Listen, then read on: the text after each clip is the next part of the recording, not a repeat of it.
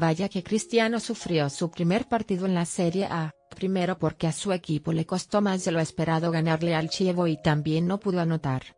Sorrentino le negó el gol con dos buenas atajadas, al final en la jugada donde apareció el por accidente Cristiano le rompió la nariz en un choque cuando el arquero estaba en el piso. Ahora manda un mensaje en su Twitter después de darse a conocer que tiene una fractura. Le dio las gracias a los aficionados por los mensajes que le enviaron y dijo que está orgulloso por el partido que dieron contra la Juve. Tomó con buen humor la situación al escribir que CR7 había dado en el blanco con él. Fue el que mantuvo en competencia su equipo y la neta tuvo que ser reconocido como el mejor del juego con sus atajadas.